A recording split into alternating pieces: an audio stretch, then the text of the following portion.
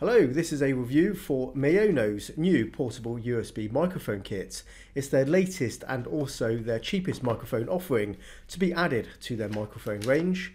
This commentary was entirely recorded on this microphone, no filters or post-processing has been made, so consider this entire video to be a audio test for the microphone. What we have on the table here is everything you get in the box, which is essentially everything you need to get up and running. While I put this together, here are some basic technical specifications.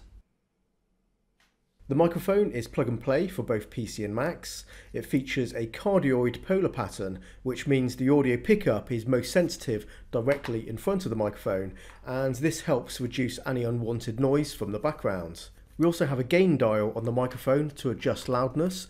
For reference, the microphone is sitting on my desk just a few inches away and I have the gain set at 50%. Being a budget microphone, the main body of the microphone is plastic, the grill is metal and the stand is plastic with metal tripod legs that have rubber feet for grip and will help reduce vibrations. Put together and sitting on my desk, it does feel nice and solid, and I do like the neat professional appearance of this setup.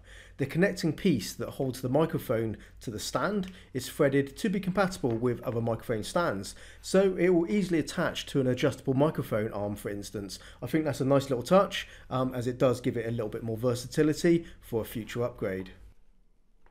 Maono advertised this microphone ideally suited for podcasts, and I would completely agree. I also think this would be a good option for game streamers and making Zoom calls. The sound quality is excellent for a budget microphone, and I would be hard pressed to find anything better at this price point. I would go as far as to say the sound quality competes with some other slightly more expensive microphones on the market out there. So all in all, a good value, simple microphone that punches above its weight, and that's what you really need to know. And I'll end the review now on that positive note. Thank you very much for watching, and bye bye.